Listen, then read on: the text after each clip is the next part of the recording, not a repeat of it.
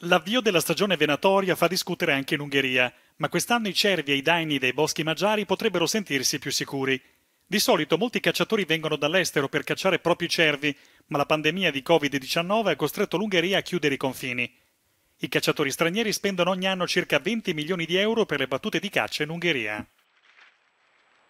Proprio per questo rilevante indotto economico, la Federazione della Caccia ungherese si è battuta tenacemente per far togliere il divieto d'ingresso nel paese ai cacciatori stranieri, ma il governo Orbán ha detto no. I cacciatori ungheresi avranno così campo libero. Il vice ministro per le foreste.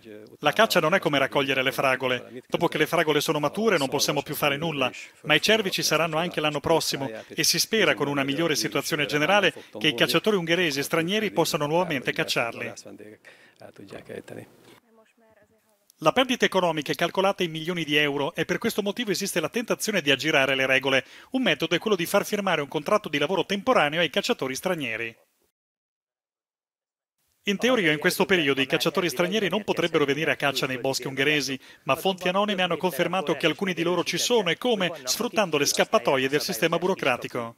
Magyar Ádám, Euronews, Börzsöny.